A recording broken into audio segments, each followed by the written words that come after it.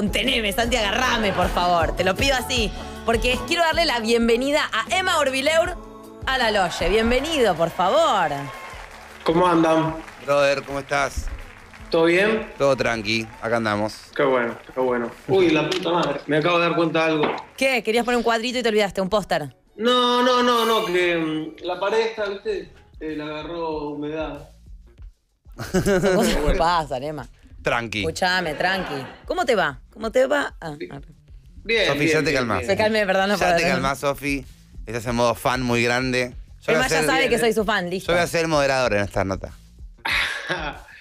Bien, bien. Estaba, estuve, estuve ahí viendo un poco lo que todo, lo que hablaban de los auriculares y, y me, me terminé poniendo in-ears.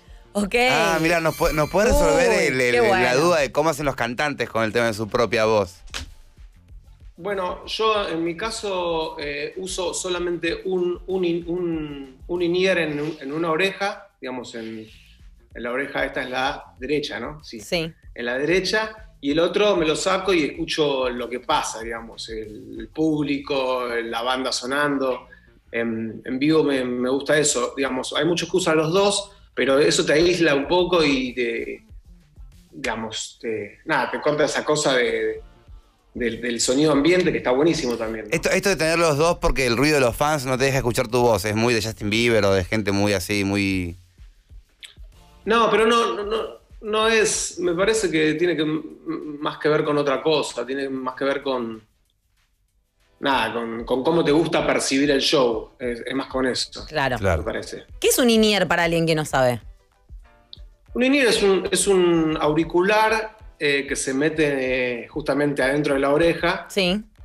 y, digamos, em, a diferencia de, de los auriculares que, que- que tenés vos, Sandy, eh, digamos, em, estos se hacen con un molde que, que- te meten una especie como de, de- de goma, ¿cómo se dice? Como de Sí, calorcito. de silicona. Silicona. silicona, en- entonces te sacan un molde y bueno, y te los meten y no se te salen, ¿no? Queda perfecto a tu oreja. Ah, Santi ya lo quiere. Ya lo quiero en casa. Y, ti- y tienen, y tienen, tienen como todo un, un- nada, como un monitor interno que, que es muy bueno, con, con un audio que está bueno, con buenos bajos, con, con toda esa data. Che, me gusta por dónde arranca esta charla y ya que estamos, voy por ahí. Eh, ¿En qué momento empezaste como a, a hacerte como.? Porque toda esta charla empieza porque Santi, no, no- Santi nada, y un día empieza un programa de radio, de repente se da cuenta de lo que es el retorno, de repente se pasa a Twitch a jugar a, a- a gamer.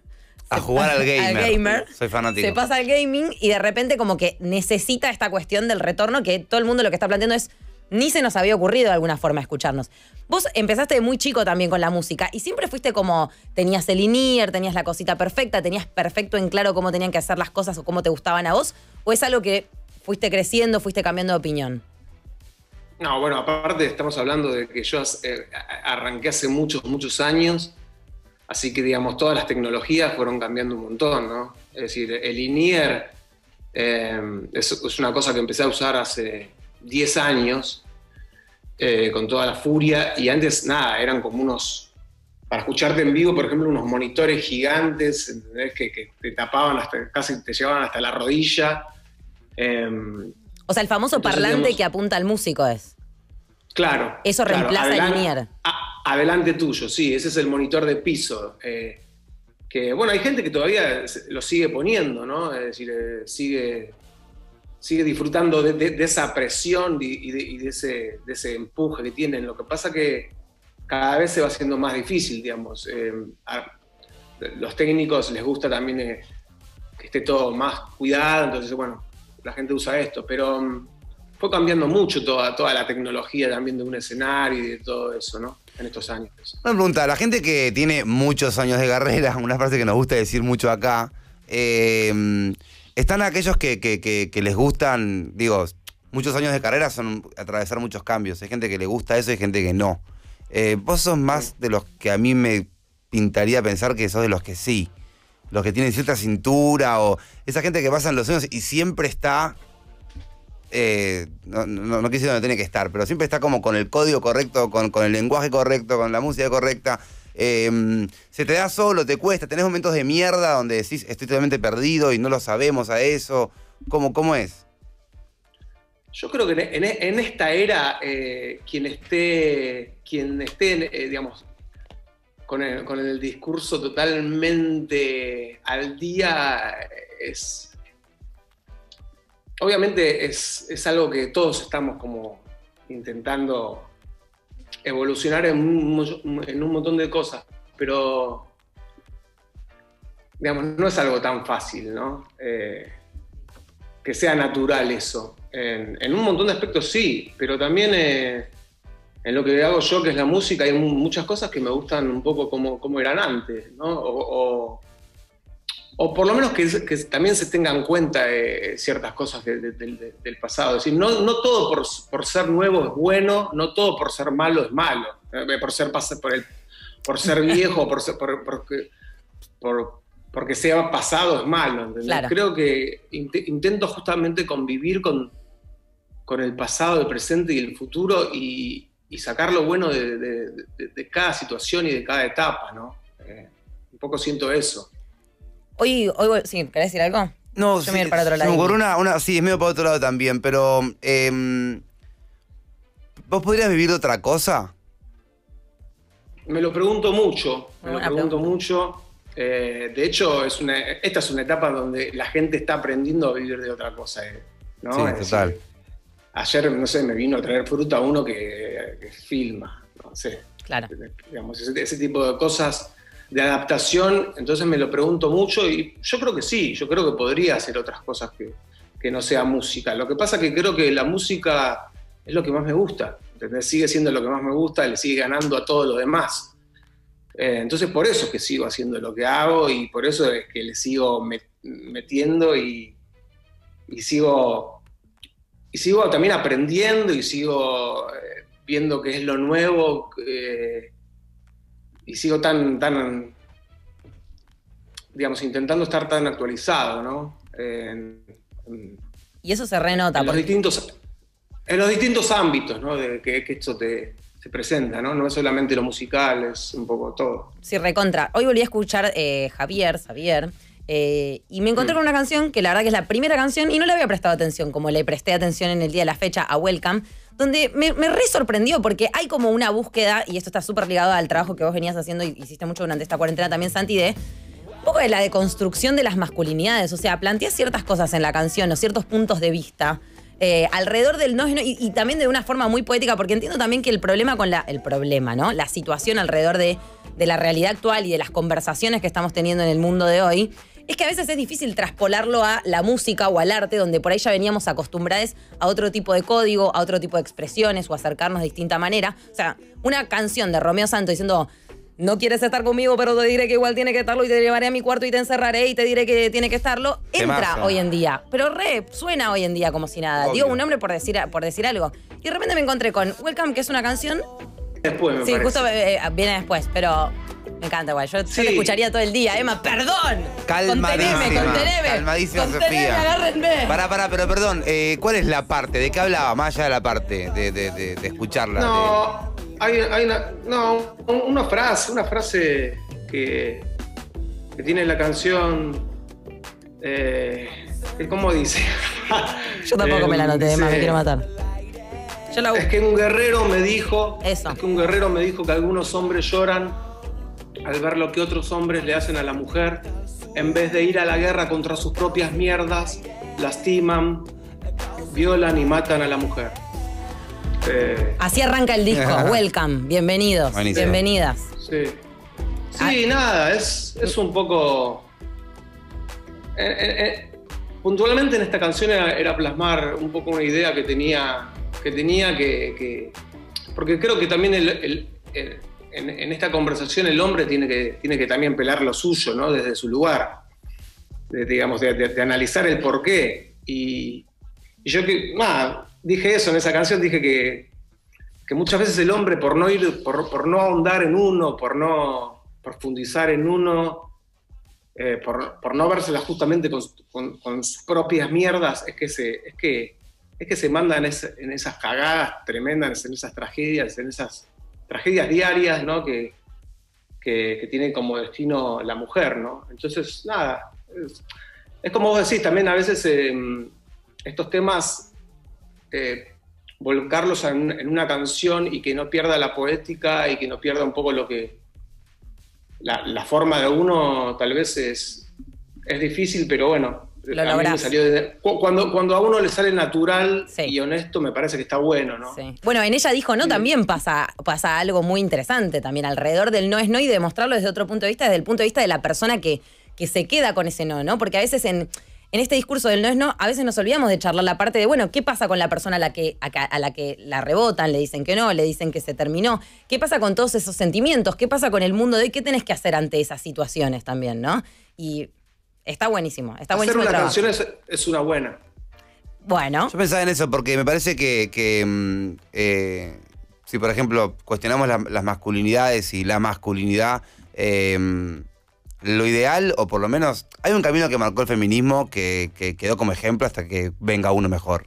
Eh, y, y lo que marcó mucho también creo que fue que pasaba de que había alguien, no sé, alguien que lo explicaba en un libro, alguien en un texto, alguien en un corto, en una canción, en un meme, en una noticia, en un paper. Entonces, claro, toda esa data de toda esa gente de forma genuina es lo que termina generando un gran argumento que por ahí puede llegar a cambiar eh, el pensamiento colectivo o la percepción sobre ciertos temas de manera colectiva. Me parece muy positivo.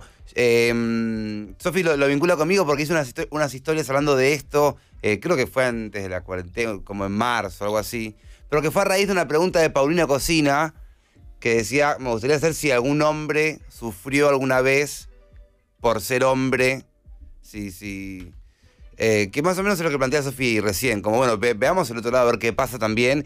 Y ahí fue cuando medio que, que explotó. Simplemente esa pregunta y responder a esa pregunta fue medio como hasta tendencia por un par de días y demás. Que te la quiero hacer a vos, obviamente. po- Se te puede ocurrir nada también, ¿eh? Porque es una pregunta donde te va a llevar siempre algo muy interno tuyo. Que es eso, por ser hombre, si, ¿qué, sufriste alguna vez y te pasó solo por ser hombre? Porque a los hombres les pasa eso, ¿entendés? El humano, el humano sufre mucho, es decir, eh, un montón de cosas, inclusive cosas que no sabe de dónde vienen, ¿no? Eh, pueden venir inclusive de- de- del, del vientre materno, de, pálidas que se ha comido, no sé, la mamá de uno mientras lo estaban teniendo. Sí. Eh, digamos, eh, yo siento que el hombre y la mujer es- es- somos una unión más allá de, este momento en donde nos estemos preguntando tantas cosas, digamos. Creo que, que sigo creyendo como en el amor y, y esa fuerza, digamos, gigante que, que- lleva al mundo. Em, y obviamente que sí, que hemos sufrido los hombres eh, un montón de cosas. Porque, digamos, que, que se- sería una estupidez negarlo. eh, eh, y seguimos sufriendo un montón de cosas. Y también seguimos sufriendo los cambios. eh, pero, pero me parece muy positivo también estar, estar abierto a eso, ¿no? Y, estar, y, hacer el esfuerzo también de entender los cambios de, de- de- de épocas. eh, creo que, que es, que es importante, que es, que, es, parte de crecer, ¿no? Es decir, eh, nada, yo estoy en esa también, ¿no? Es decir, todos estamos en esa. Por, por momentos igual me, pare- me parece gracioso porque en el rock eh, hemos, hemos, cam- hemos pasado de, de- de que nos griten putos, ¿entendés? Eh, por, a mí, eh, personalmente, por, por hacer una música tal vez más pop, más suave, eh, o por hacer una canción como se llama eh, Soy tu nena, pasamos de eso a, a estar objetados de- por otras cosas, ¿no? Es decir, es, es como gracioso en algún punto que siempre vamos a estar siendo objetados en cierta cosa. Em, Y para, ¿puedo andar un poquito ahí? ¿Puedo andar Sí. cuando te gritaban puto por soy tu nena temón? Gracias por hacer un temón de tal Eh, tipo. Eh, no, bueno. ¿cómo, ¿Cómo te sentías vos? Decías, eh, que no me acusen, que yo no soy homosexual. ¿Entendés? Como, ¿Cuál era tu reacción en No, ese no, momento? ¿Qué va a No. pensar mi madre? Que claro, no, No. mi familia. No, lo mismo cuando nos gritaban, no sé qué, como que el rap no era música, cuando teníamos eh, ¡Qué 15 tupé! años. ¡Qué tupé! ¿Entendés? Eh, un poco, Argentina tiene esta cosa bastante fascista, inclusive en la gente que no se considera fascista, ¿no? De señalar, de señalar, señalar mucho al otro. Y el rock, eh, por suerte, ha cambiado en, este- en este- en estos últimos tiempos, pero también ha tenido una cosa muy, muy ortodoxa y muy, muy cabezona, ¿no? Durante muchos años, muy cabeza dura. Y entonces, nada, si a mí me gritaban eso por una canción, bienvenido sea, es decir, eh, eh, no, digamos, Buenísimo. he, sido, he sido siempre también eh, un músico elegido por, por, es- por las comunidades de gay y, LGTB. no sé si tanto lésbico, pero no, no sé si tanto lésbico, Bueno. pero los gays siempre me han querido y eso me lo, me lo han dicho siempre.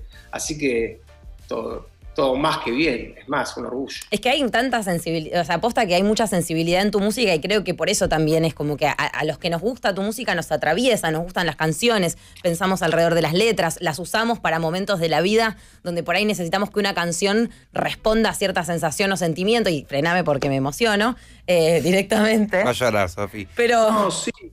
pero hay los, algo de eso. más, los piropos más grandes que yo recibo en esta era y son que son que mi música sirve para amarse, por ejemplo. ¿entendés? Eh, en una pareja, eh, en la pareja que sea, digamos, y eso, nada, es, es hermoso. Llegás a tu casa, te servís un te descorcha- descorchás un virito. Que se descorche. descorchás un virito y ponés la Universidad de los Besos. Yo ahí me emociono, me enamoro para siempre. Estás emocionada. La Universidad de tus Besos. O sea, es como, para mí es como todo. Eh, porque, porque te No, va llevando al mood de lo- desde lo musical y desde la letra, desde un lugar tan copado. Ibas a decirme algo. ¿Qué pasó? No, que sentí que me ibas a decir algo. Decidí no, decidí no moderar. Decidí que el amor de Sofi llegue y ver qué hacías vos. No, bueno, está pero es- bien también sí. no ser tan moderado igual, Claro. ¿no? Y Es sí. decir, está bien a veces romper todo. Y sí, hay eso, que... es lo que, eso, es lo que, eso es lo que extraño un poco también de otras épocas, ¿no? que ahora por momentos estamos como un poquito, eh, no sé, políticamente correctos y, y está bien en muchos aspectos, pero en otros también a veces está bueno romper todo y putear y, y sacar afuera y, y- y esa fuerza del- de, de- de lo punk, ¿entendés? Eh, Sí. También está buena a veces pelarla. Re. O sea, creo que hoy también hay, hay diferentes formas de romper todo, ¿viste? Donde casi nunca hay algo roto, de verdad. Casi nunca hay un objeto que está roto. Eh, sí, hoy creo que el gesto de, de- de romper la guitarra es más como... ¿Y para, para qué? No. ¿Viste? ¿Para, qué la vas a romper? Sin embargo, hace poco todos unos chi- eh, chicos eh, se unieron en TikTok mundialmente para hacerle una broma a Trump que esperaba una campaña, un lanzamiento de campaña con un palo de personas y fueron, no fue nadie porque era todo un chiste que le hicieron por TikTok. Eso me parece más punk que punkin, ¿entendés? Y es No, todo con un mouse sí. y un... eh, como... Sí. Creo que la, pasa que a mí- la cosa de romper es muy humana virtual- también.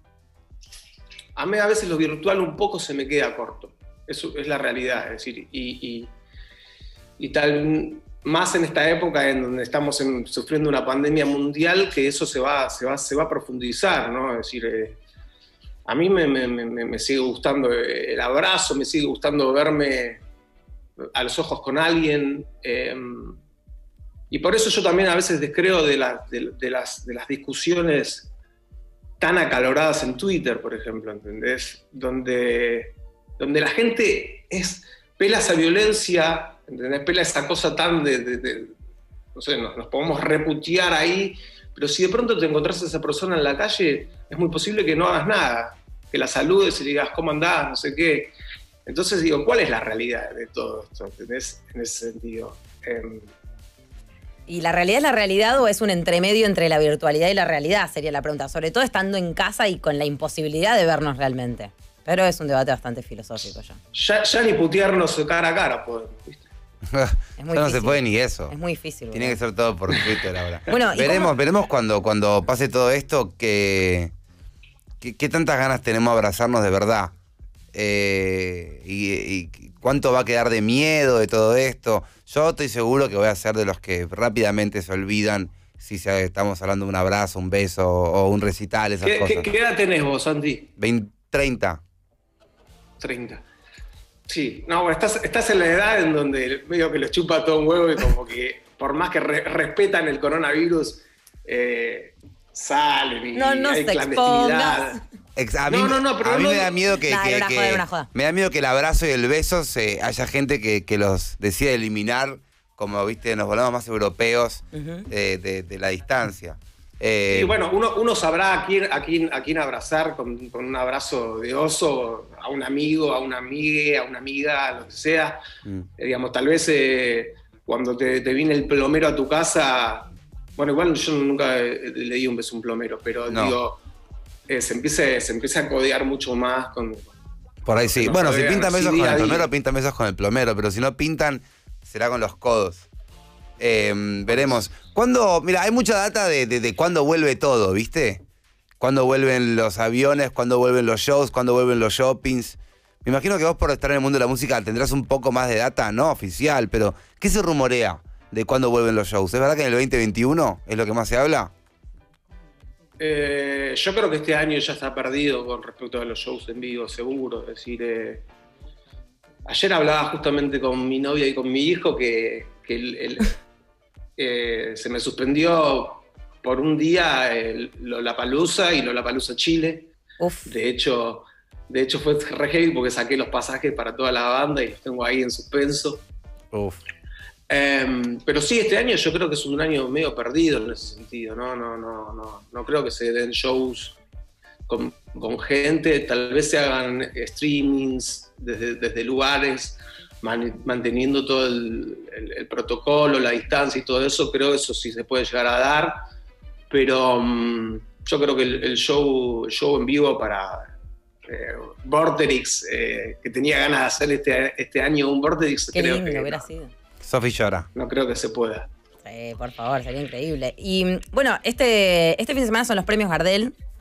Estás nominado. ¿Cómo te pensás que va a ser esta premiación? ¿Qué onda? Tipo, la virtualidad, ¿tienen alguna, alguna manera pensada para hacer las cosas? Mm, ¿Sabes? mm, no. No, no, la verdad que no, la verdad que nada, estoy muy, muy, muy feliz por la nominación de, de Xavier a mejor disco de pop alternativo. Eh, tengo, tengo bastantes Gardel ya por ahí. Eso te iba a preguntar. algunos arriba del- Ya, te da, ya es como que, Sí, ah, bueno, una nominación, te volvés a emocionar, te dan ganas ganar. eh, sos tipo Kanye West que crees que gane otro y decís, no, fue mejor el, el de otro álbum pop No, alternativo". no, vos sos, vos sos tipo eh, Meryl Streep que dice, no me nominen más. Ay, Basta, denle a las No, generaciones. no, no, no, no tanto, no tanto. Me gusta, la verdad que me gusta que me nominen, porque es un disco que, que- que le puse mucho trabajo, que, que- en donde también trabajé con un montón de músicos buenísimos de, de- de- de una generación nueva para mí, sí. que la, que la rompen. Entonces creo que es, una, es un disco muy importante para mí, que también abre un, un nuevo momento mío en la música. Es decir, este Xavier, va a haber un Xavier 2 y posiblemente haya un Xavier 3, entonces estoy muy, muy feliz con eso. Pero la verdad que si lo gana cualquiera de, cualquiera de los que de los que ganen este premio me, me pone feliz porque también hay, hay, hay músiques, ¿se dice? ¿Está bien músiques? Sí, perfecto. Está bien. Muy, muy, muy buenos, Candelaria Salmar, es decir, eh, Ahí estamos Son viendo algunos. Pereira, Los Indios, creo que nada, está, está, está bueno también compartir eh, esa nominación con, con- con estos músicos tan buenos que, que hay nuevos, ¿no? Entonces, si lo ganan también eh, me parece perfecto porque yo ya, yo ya uno ya gané. ¿Tenés un discurso preparado, Emma? ¿Querés practicarlo? Eh, no, me, me gusta, me gusta no tenerlo porque me parece más natural y me, me divierte más. Es decir, cuando gané el, el Grammy, el primer Grammy con Dante, con Ilya Kuriaki, sí. eh, pensé que no iba a ganar porque justo fue una vez que nos habían nominado como a seis Grammys, habíamos perdido cinco, nos quedaba una que era la más difícil, eh, que era mejor canción urbana y, y estaba este que, tiene un nombre de perro, este regga- reggaetonero, ¿cómo se llama? Pitbull, bueno, Sí. no sé, un montón, un montón de, de grosos. ¿y ustedes con cuál estaban? y- con un Ula Guau. la canción Un Laula y me acuerdo que nada, gané, ganamos con Dante y yo estaba comiendo un chicle y mientras iba caminando ahí a subirme a- para agradecer, eh, me saqué el chicle y lo pegué en la escalera de los, gra- de los premios Grammy, Ah. Sí, papá, transmisión, transmisión por TNT eh, mundial y y bueno, nada. eh, me gusta ese, ese, ese, ese lío, me gusta. Qué lindo El lío recuerdo. de no saber. Qué lindo recuerdo. Sí, Obvio. sí, sí. Qué Está lindo. buenísimo. Bueno, y te esperaremos para el lanzamiento de Xavier 2, 3, todo lo que quieras. Me encanta a mí recibirte, entiendo que a Santi también y a la Loye también. Y gracias por compartir música tan linda. Me imagino que en la cuarentena saldrán algunas joyitas, capaz. Sí, sí, de hecho estamos terminando una canción nueva que se llama Raros, que habla un poco de este momento y ya de acá, no sé, a menos de un mes estará seguro en, en las calles, no se dice, no sé. Ya no. En las plataformas digitales. plataformas. Escuchame una cosa. Emanuel Corvileur pasa por la Loye. El placer de recibirte. Muchísimas gracias por charlar con nosotros de todo lo que te planteamos, que fue bastante. Gracias, guachín. Te queremos. Chao.